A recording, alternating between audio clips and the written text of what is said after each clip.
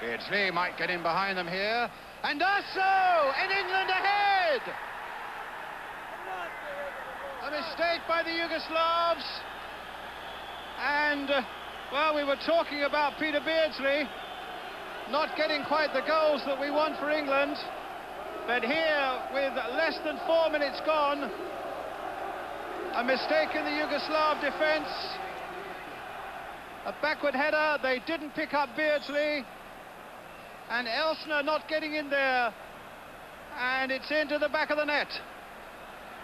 A great sight for England.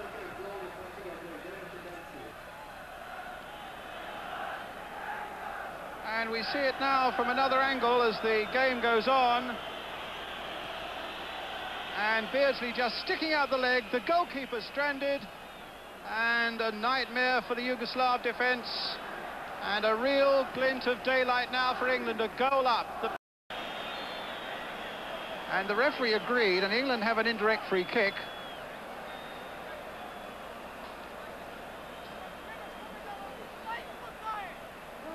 my mind was uh, distracted for a moment there. I'm wondering maybe back in London if anybody had a clue as to what that was for.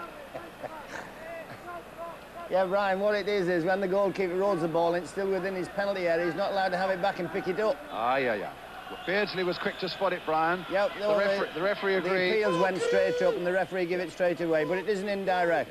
But it's in a very, very, very, very dodgy uh, position That's for right. the opposition.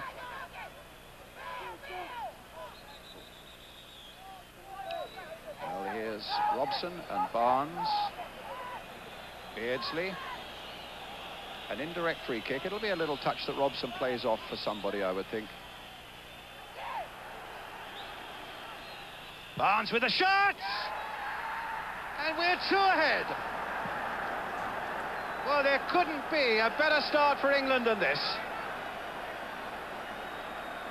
16 minutes gone, and England two goals to the good.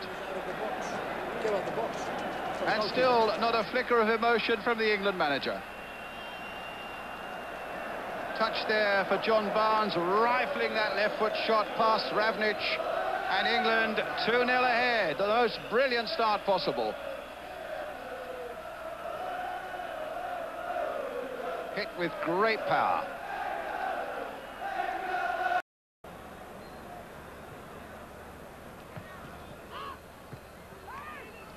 There might be something here. It's another one. And Gary Lineker.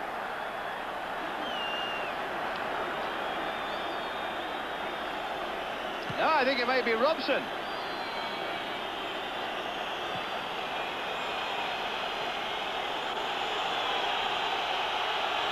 There it is. Into the back of the net. And England now three goals up. The whistles all around this ground now.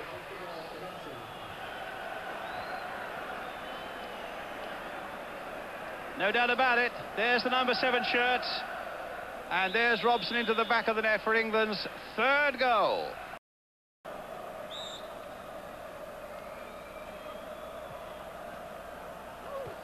Oh, and it's another one.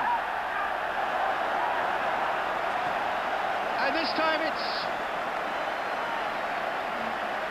of all things, it's Adams. They're flying it everywhere.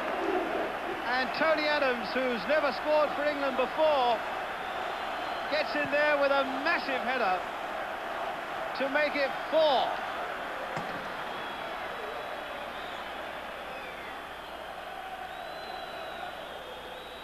Well, it's an astonishing game now, and uh, really, as a competition, it's almost over. It's a question, really, of how many England could get. And when you think they got eight against uh, Turkey.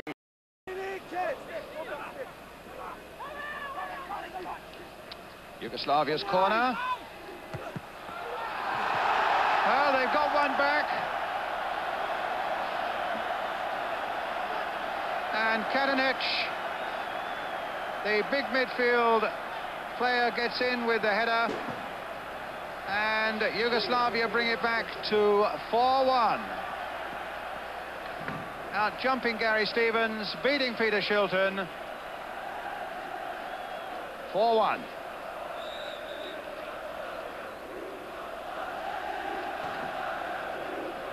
So a consolation there for the host team, but little more than that really. Good jump though by Katanec, well-timed header, downward header, always difficult for the goalkeeper.